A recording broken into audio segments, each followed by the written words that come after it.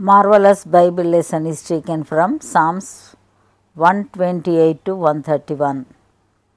Blessed is every one that feareth the Lord, that walketh in his ways, for thou shalt eat the labour of thine hands. Happy shalt thou be, and it shall be well with thee.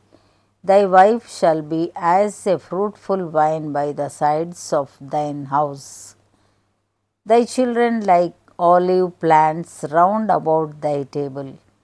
Behold, that thus shall the man be blessed that feareth the Lord.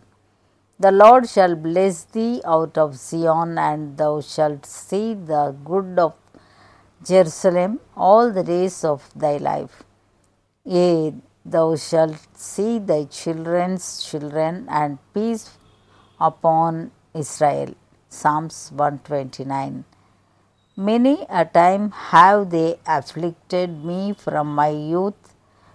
May Israel now say, Many a time have they afflicted me from my youth, yet they have not prevailed against me. The ploughers ploughed upon my back, they made long their furrows the Lord is righteous, he hath cut asunder and asunder the cords of the wicked.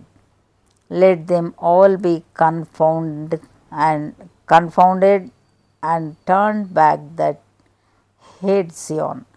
Let them be as the grass upon the housetops, which with withereth afore it groweth up, wherewith the mower filleth not his hand, nor he that bindeth sheaves his bosom. Neither do they which go by say, The blessing of the Lord be upon you. We bless you in the name of the Lord. Psalms 130 Out of the depths have I cried unto thee, O Lord. Lord, hear my voice let thine ears be attentive to the voice of my supplications. If thou, Lord, shouldest mark iniquities, O Lord, who shall stand?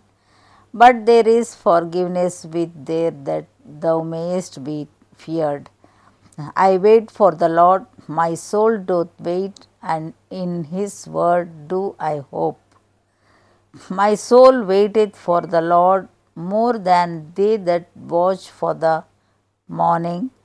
I say more than they that watch for the morning.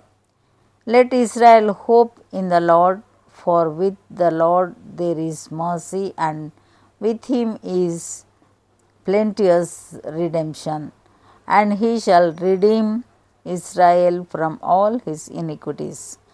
Psalms 131 Lord, my heart is not haughty, nor mine eyes lofty, neither do I exercise myself in great matters or in things too high for me.